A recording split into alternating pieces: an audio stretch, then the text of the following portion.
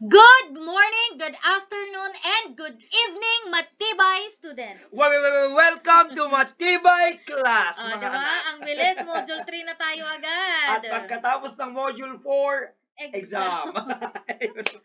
exam na, hindi. May papaquiz pa tayo, tas Ay, exam. papapis pa ba? Ayan. Okay. And module 3, module 3 na, fraction, and napakadali pa rin ang topic Yes, natin. and decimal pa rin naman. Yes, expressing fractions to decimals and percent forms and vice versa. Na, yung, Ayan. yung ipupunta na natin ang fraction to decimal. to decimal to percent diba? and vice versa. Yes, Ayan. we have lots of techniques. Okay?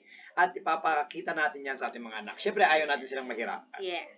Our two objectives are, Ayan, first, of course, is express fractions to decimals and percent forms and vice versa. Sa wakas, tumama din yung objectives. Second, illustrate how decimals and fractions can be written in terms of percentage. Yan. Okay? So, let's start with changing fractions to decimals. Ayan. Okay? So, where, well, to change fractions to decimals, all you have to do is to what? Okay? Means that the numerator is to be divided by the denominator. Di ba? Sabi ko nga Oh, kanina, ma'am, sabi ko nga kanina, ma'am, binabasa rin yung fraction, pwede rin siyang maging division. Okay? Yes. So, ang gagawin mo lang ay i-divide Ang ang numerator sa kanyang denominator. Denominator. Yun yung first natin. Second is changing decimal to fraction naman. Ayan, baliktad natin. When a decimal fraction is written in a common fraction form, the decimal fraction without the decimal point is used as the numerator, and the denominator is one with as many zeros annexed as as there are decimal places in the original decimal fraction. The common fraction is reduced to its lowest term. You know what, Ma'am Tintin? Medyo mahirap lang yung kanyang mga Explanation. terms. Pero napakadali niyan kapag pinapakita na natin Yes. mamaya. so, Okay, ipapakita natin yung shortcut niyan later on. Relax, relax, relax lang Yes. mga anak. Okay?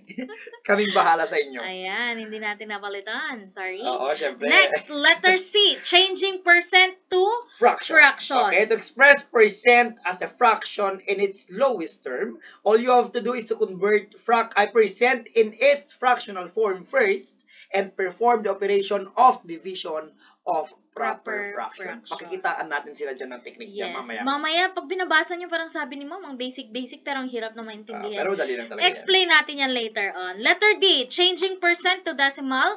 The basic principle in converting percent to decimal is to move the decimal point two places to the left and drop the percent sign. Sign. Okay, madali Mm. din yan, ma'am. Ipapakita natin yan mamaya-maya lamang. Yes, okay? magmo-move-move ka lang dyan. Meron pa ba? Meron pa, Ayan, ano meron yan. pa.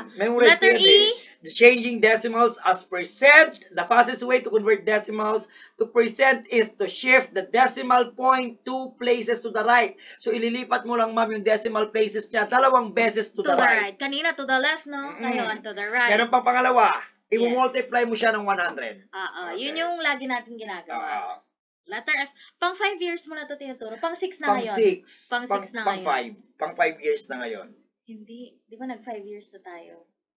Ay, so pang 6. Oo, mag 6 na this six school year. Hmm, Tagal na. Tagal na. Ang tanda na natin sa Yupang. Hindi mo masyado. Letter F, changing fractions as percent. In converting a fraction to percent, change the fraction to its decimal equivalent, then multiply the decimal equivalent by 100, or simply move the decimal point two places to the right and suffix the percent symbol. I stand to be corrected, ma'am. Yung letter E Ah, pala, i-divide mo ng 100. 100. Tapos Sa yung letter F, i-multiply mo ng magmumultiply. 100. Okay? Ayun. Kung 6 years kung itinuturo yun, ma'am, ito, ma'am, ikaw favorite mo to, di ba? Ilang Ah. taon mo na yun? Ngayon lang. Ay, ngayon lang. Kaya na-excite, ma'am, din. Wala, excited ako lalo kasi sabi ni Sir Jason, this is the easiest Yes, mathematics subject. Oh, kaya Sabi ko na-excite nga, ma'am Titin, kapag nalusutan nila yung yung GenMat, Yung GenMat, at saka statistics syempre. and probability, okay, kaya-kaya So, dami ba naman ang pindot nyo sa calculator nung yung stat at genmat? Dito pa kaya? Pero ma'am, during, an, ano lang ah, Face to sa trivia tayo, face, hindi, I will, uh, I will not allow my students to use calculator. Oo, kasi very basic, Basic ito eh. naman, oo Oo. naman. Yung ano, yung mag exam sila na walang hawak na calculator. Ang tanong ko sa'yo, mapipigilan mo kaya sila? Ang exam natin hindi face to face. Baka sabi nila, yes ma'am, pero tut-tut-tut-tut yung calculator nila sa bahay. Ayan, meron pa? Wala na.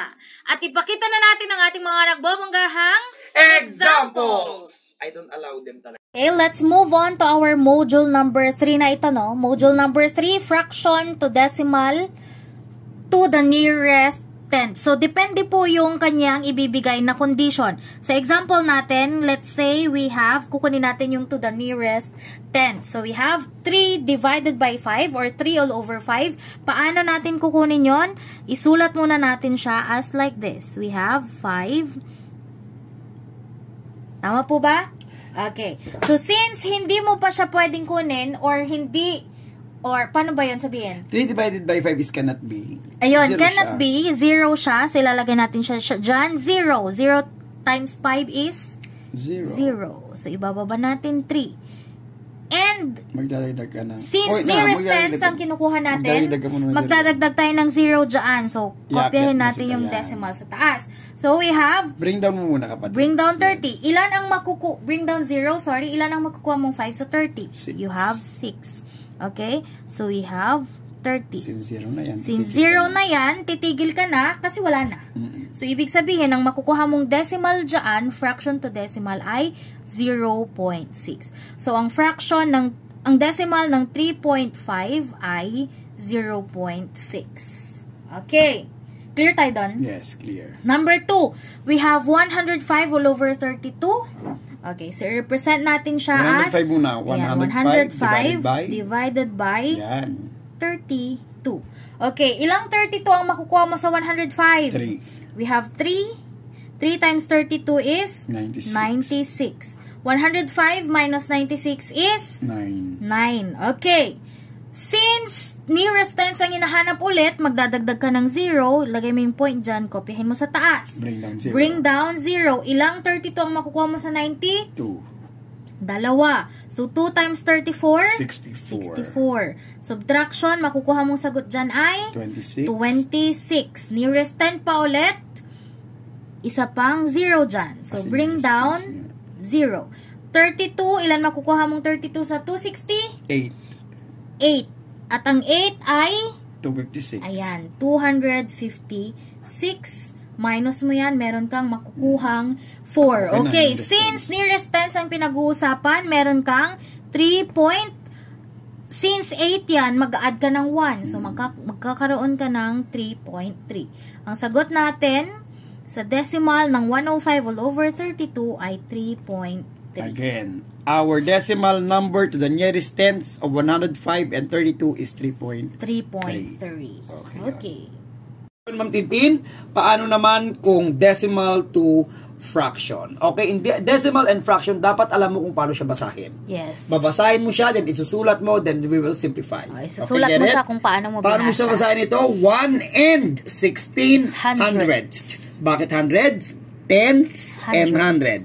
So, isusulat na natin 1 and 16 100. hundredths. Maliwanag na maliwanag. Okay? This is a mixed number, a combination of whole number and A proper, proper fraction. My question is, pwede pa bang isimplify ang proper fraction? Yes. pwede. Mas madaling paraan, hatiin muna natin sila. So, pwede yan, magiging 1 and 8 all over 50. Pwede pa ba? Yes. Yes, pwede pa rin siyang maging 1 and 4 all over 25. If you take a look into 4 all over 25, hindi na siya pwedeng masimplify. That's why the decimal, uh, the fraction of 1.16 is 1 and 4 all over 25. Nakakasunod, Ma'am Tintin? Yes po. Okay. Next, we have 12 and 5 hundredths because tens hundred. So, meron tayong 12 and 5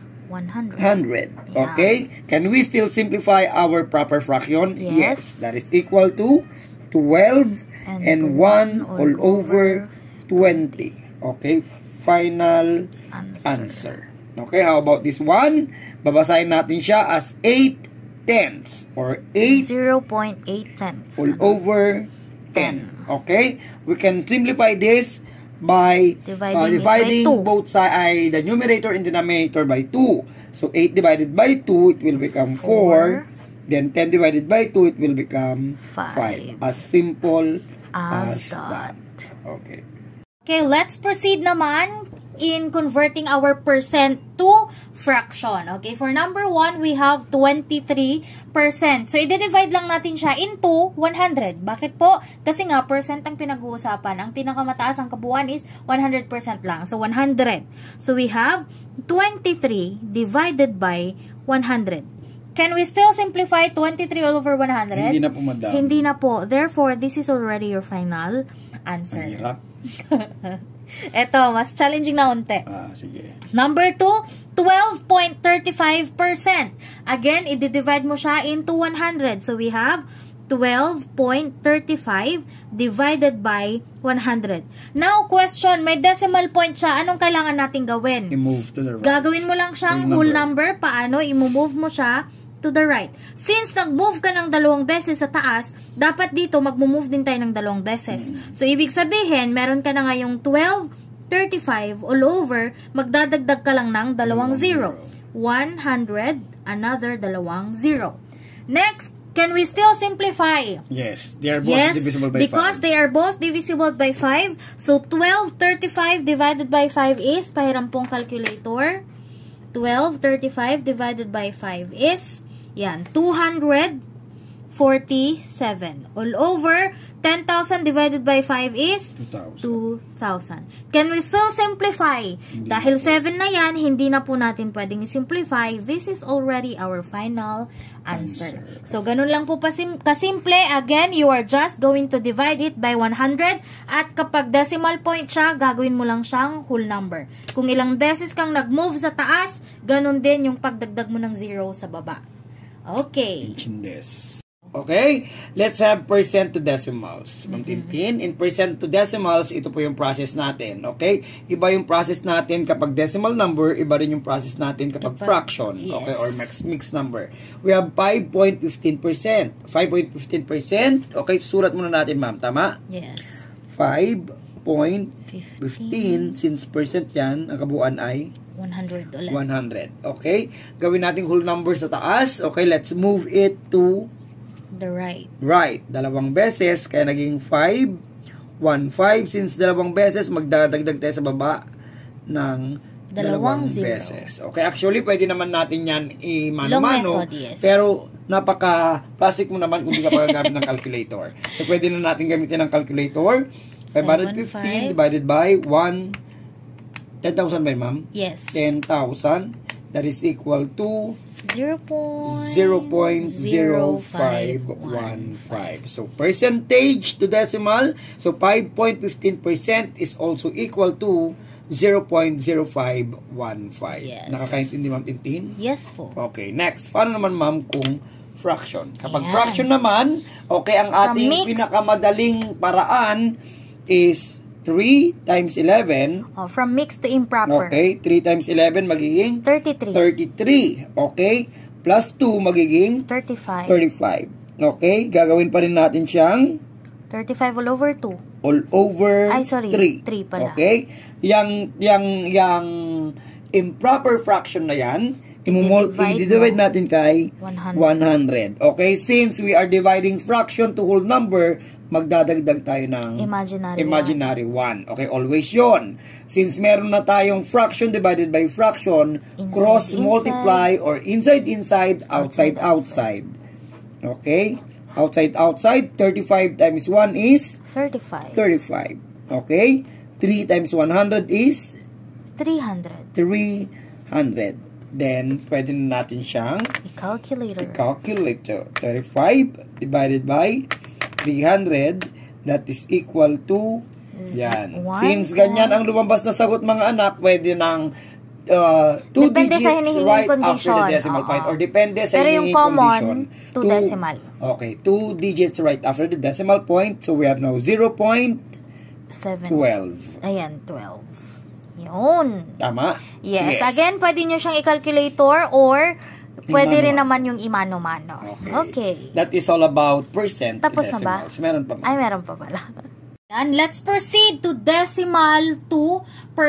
Ito, isa sa pinakamadali kasi i-multiply mo lang siya into 100. Or, o sige, i-multiply mo na natin siya sa 100.